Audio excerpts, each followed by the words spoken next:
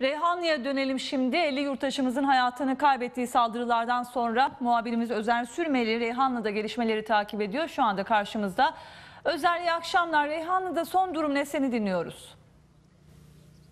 Reyhanlı'daki saldırının 3. gününe girilirken Reyhanlı'da hayat hala normale dönebilmiş değil. Şu anda saldırının yapıldığı, bombaların patladığı e, hizmet binasının, belediye hizmet binasının bahçesinden yayın yapıyoruz.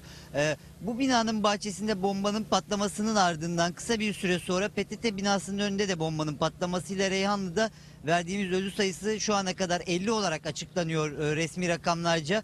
Ancak bu sayının daha yüksek olduğu söyleniyor hastane kaynakları tarafından. Hastanelerden edindiğimiz bilgiye göre şu ana kadar Reyhanlı'da e, 70'in üzerinde e, şehit verdiğimiz tespit edildi ve hala morglarda e, cesetler bekletiliyor tespitler için. Bunun için DNA tespitleri için adli tıpa gönderilen cesetler var bir yandan. Onun dışında Reyhanlı'da bugün güvenlik bariyerlerinin kaldırılması ve halkın enkaz bölgesine girmeye başlamasıyla beraber yeni cesetler de ortaya çıkmaya başladı. Enkazın enkaz e, molozlarının altından yeni cesetler bulunması üzerine halkın bölgeye girişi bir daha e, yasaklandı. Bu haberle beraber bu haberin Reyhanlı'da duyulmasının ardından e, kayıp yakınları kay- e, yakınlarına ulaşamayan insanlar e, sabah saatlerinden itibaren bu bölgelerde bu binanın bahçesinin hemen arkasında ve PTT binasının önündeki alanda toplanarak gergin bir bekleyiş içerisine girdiler.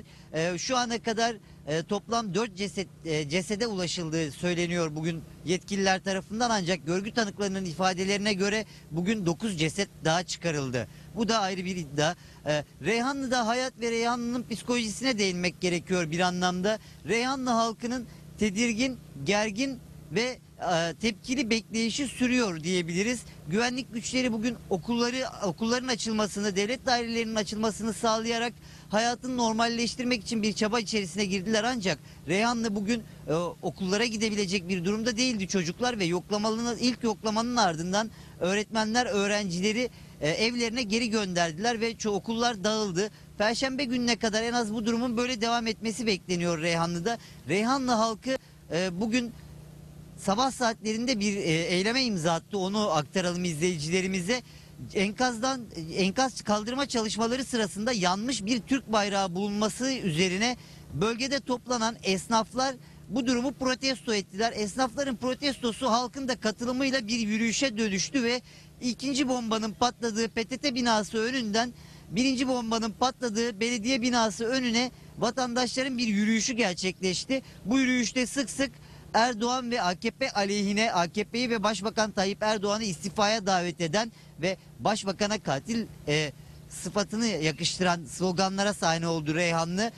Onun dışında Reyhanlı'ya bugün ÖDP Genel Başkanı Alper Taş ve bir ÖDP heyeti, CHP Genel Başkanı Kılıçdaroğlu ve bir CHP heyetiyle birlikte İşçi Partisi Genel Başkan Yardımcısı Bayram Yurtçiçek ve İşçi Partisi heyeti Reyhanlı'ya gelerek incelemelerde bulundu. İşçi Partisi Başkanı Bayram Yurtçiçek Reyhanlı'dan ayrılmadan önce bir açıklama yaparak AKP'nin Türkiye'nin Türk e, yurttaşının güvenliği için ve can güvenliği için bir tehdit unsuru haline geldiğini söyledi.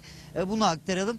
Reyhanlı'daki e, son durumu böyle aktarabiliriz. Reyhanlılı, Reyhanlılıların gergin bekleyişi hala devam ediyor olayın ardından 48 saat geçmesine rağmen.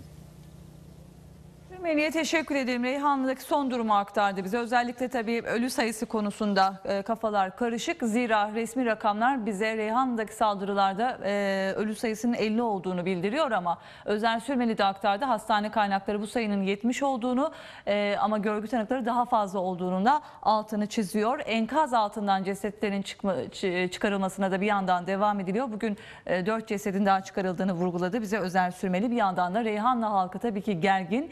Gerginlik zaman zaman protestolara neden oluyor. Hedefte ise AKP hükümeti